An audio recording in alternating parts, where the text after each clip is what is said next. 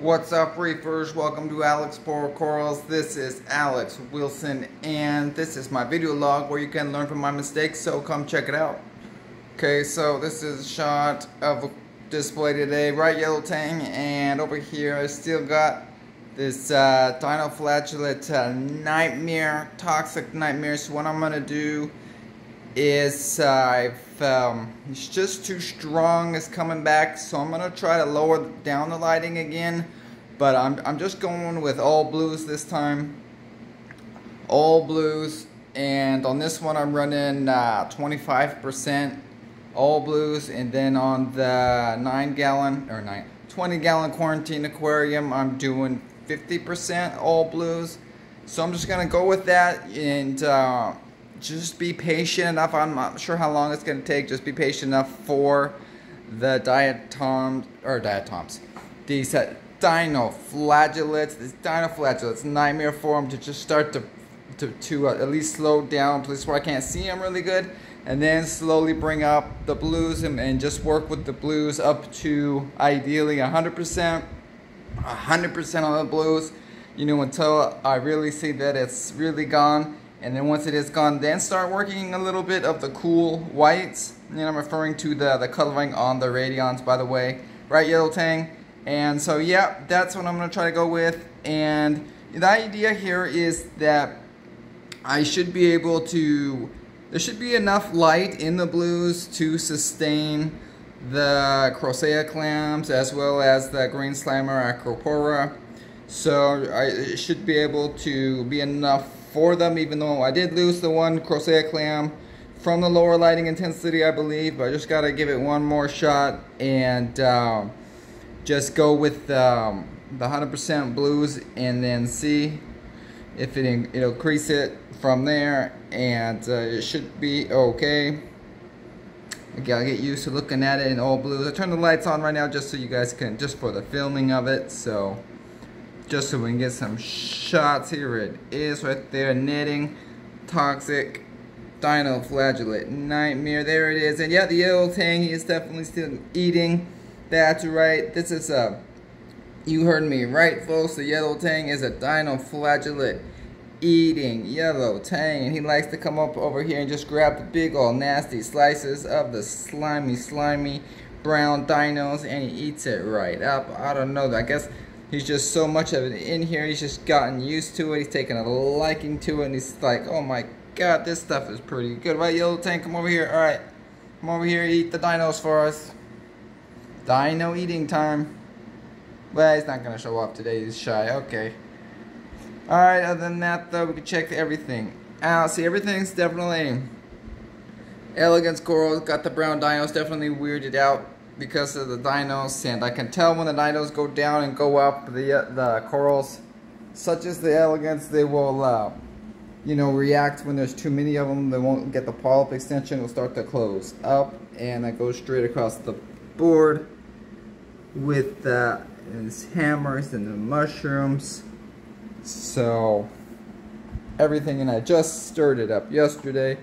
Stirred up the gravel gave everything a big stir up so yeah, I'm going to try. I'm trying to go with that. Uh, and you know, it's good to try to keep an eye on the copepod population in here. For example, I I took I, I can't see any of them, and uh, I even took a couple pieces of live rock out yesterday. You know, and took it out and couldn't find any copepods on it whatsoever. Turned it over. Certainly had a bunch of uh, stomatella snails underneath it and certainly have a bunch of those Stomatella snails absolutely everywhere, so gotta love them. And they're re reproducing really nicely in here. But no copepods, so what am I gonna do about that? Well, I'm not sure. What are we gonna do? One option is to order some more from uh, Algae Barn.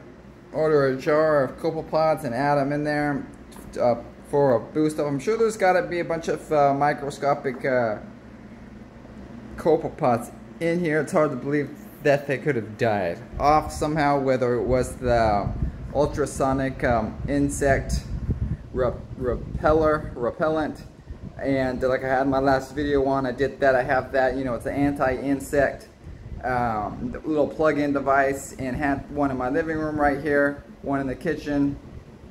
So in theory, it is possible. I think it also affects uh, rodents and that that are supposed to keep away. So it is possible that it did affect my population. I'm not sure, but um, you know, one way to clear it up would just be to add some more. Of course, come on. Are you eating the, what? Okay, talking about the copepods over here, and now you start eating the dinos. All right. Anyway, so copepods, thinking about coming over here to the, well, I have some of them, definitely did see a bunch of them on the rocks in the 20 gallon quarantine aquarium. So what I could do, well, I'm gonna wait until the, um, the two and a half months is up for the, for the velvet and, um,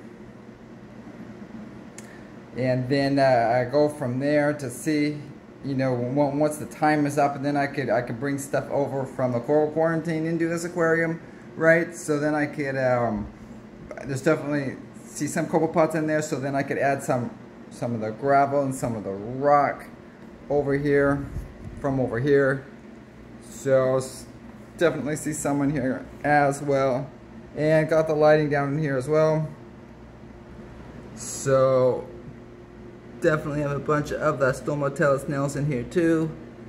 And the copepods, definitely a bunch of them in here. So certainly could just wait until the timer's up on this one and then um, transfer the stuff over along with the coral. So guaranteed to get a whole bunch of the copepods in here. Shot of the clams. And and here's a shot of the streaming dinoflagellate um, slime nightmare sliming away. But Mason the millepora is still alive. I lost that fox flame. Fox flame is dead and gone. That was there. But everyone else is still hanging on a little bit here.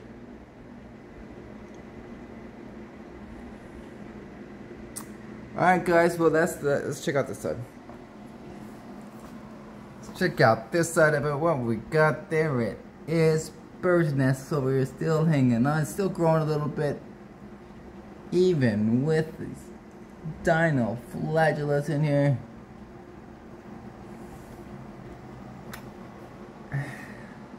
Alright guys, well, I guess that's it. But check out the next episode to find out what's going on with the lower light intensity and if the dinos will go down and what has lived and what didn't make it.